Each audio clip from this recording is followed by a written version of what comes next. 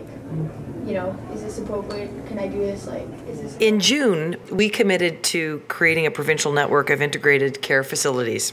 Today, we are opening up the very first one, and right here in Kelowna.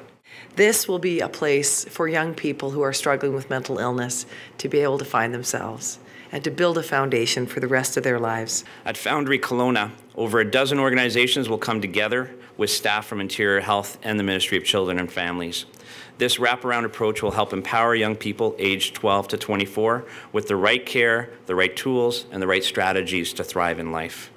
Couldn't have ever dreamed I would be supported so wholeheartedly by a team of such caring individuals with such a beautiful common goal. Today, I am not only relieved, but also proud to be working with all of you in this goal and towards supporting our youth here in Kelowna in mental health. Thank you. Starting the spring in 2017, the Foundry will be up and running, helping people find their path to wellness, and we hope making a real difference much earlier in supporting young people in living a long, healthful, fulfilling life.